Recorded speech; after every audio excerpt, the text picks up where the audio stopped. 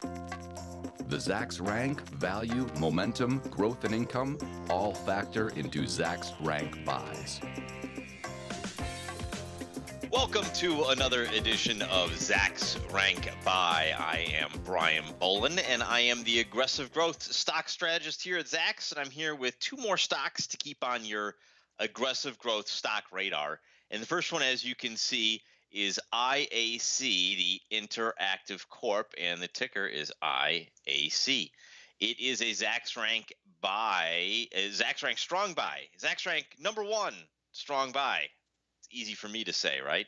Uh, and it has that great divergence that I love to see. It has an A for growth and an F for value. And that tells me right away that I'm on the right path here because growth investors and value investors are inherently uh, looking for different things. You know, one of the things that uh, you know, talking about I, a IAC, you know, they own a lot of things, but uh, we just want to jump right ahead to this chart here and take a look at this this sort of big dip down here at the beginning of May. And you know, Interactive owns 81% of the Match Group, Match.com, uh, Tinder, of Fish in the Sea. There, there's a whole bunch of dating apps they have, but Facebook on that day said that they uh, are looking into getting uh, you know something in that in that space as well. Uh, since then, there's been a whole a bunch of nothing. There's been analysts saying that it's nothing to worry about, uh, and as you can see, the stock has come all the way back. That is quite a nice move from uh, from basically 130 back to almost 160 now. Uh, so a nice recovery there. once again, teaching investors to buy the dip. If we take a look at why this stock is a Zacks rank number one, we can see that earnings estimates are moving up. Uh, 626 just 30 days ago, now up to 683. That's what we like to see. And you know, next year we, we we're looking at eight dollars and eleven cents there. Now we're at 869. That's another good move up here.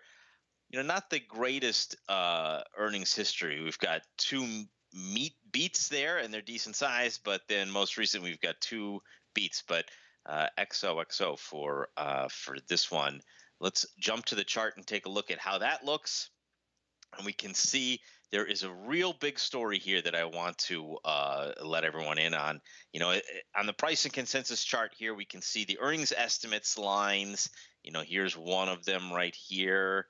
Hang on. Here's one of them right there. Here's another, and they're each color coded for the different years. Uh, but here is the real important idea. Right here is the beginning for the 2018 number, and you can see that it is just moved up nice and slow and steady. Where these other ones were starting off and, and tailing off, this one has really changed. So right about here, this big spike of vo- volume, this big move, even though we're going to call that a, a miss there on that one right there. And now we can't see much on that chart. But, you know, right about there, we can see that, you know, at this time spot, this is where the story really changed. Earnings estimates started moving higher. The stock did as well. Uh, I don't think that there's any reason uh, to see this stock pull back. And I think, you know, that Facebook fear is kind of overdone. Anytime there's a good sized dip in this thing, I would be a aggressive buyer for an aggressive growth stock. All right, let's move on to our next one. It is Zebra Technologies, and the ticker there is ZBRA. I'm going to tell you where it is. This is where you can see it on the website, Zebra Technologies. ZBRA. It too is a Zacks rank number one strong buy, and it has that excellent divergence that I love to see. A, for growth, D for value, not quite the full divergence of an A and an F, uh, but still pretty good here. If we jump over to why this stock is, is Zacks rank number one, we're going to see that it's because earnings estimates just keep on bouncing higher. Uh, you can see that started at 928 90 days ago. Now we're up to 977. That's moving in the right direction. Next year, looking at 988 and moving to 1035. That is an even bigger bigger arrow. If I keep on drawing, it'll keep on getting bigger. Uh, it's a bad arrow, so let's get rid of it. Uh, you know, obviously here there there aren't that many. Um, I think I'm on the wrong thing here. Let's scroll it down. There we go. Uh, there because I knew this stock was beating and beating and beating. So uh, you know, a nice beat of four percent there. Wow, it's a big one.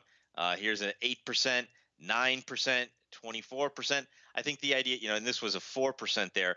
The idea is that these beats keep on getting bigger, up arrows, bigger.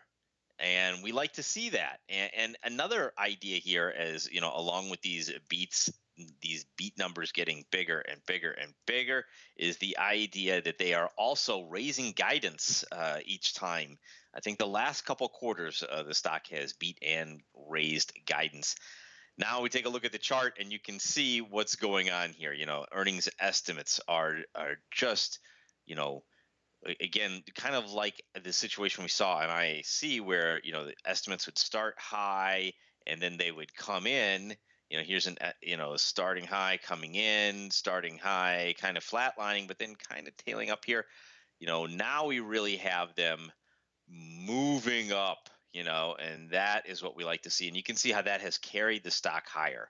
So as we look at this stock here we see over the last you know two years here we got you know two here four here and two here that's two years worth of solid beats Okay, and I really love to see that, but I really even more than love to see that is see those earnings estimates drag that stock higher, and that keeps that stock on my radar screen, something that should be on your radar screen, despite the fact that it is right around $160 per share, and that is pretty pretty much at the highs. But uh, uh, if you keep on beating, keep on guiding higher, shouldn't have too much fears on this one. Well, that's it for this week. Join us again next time as we profile two more aggressive growth stocks for your radar screen.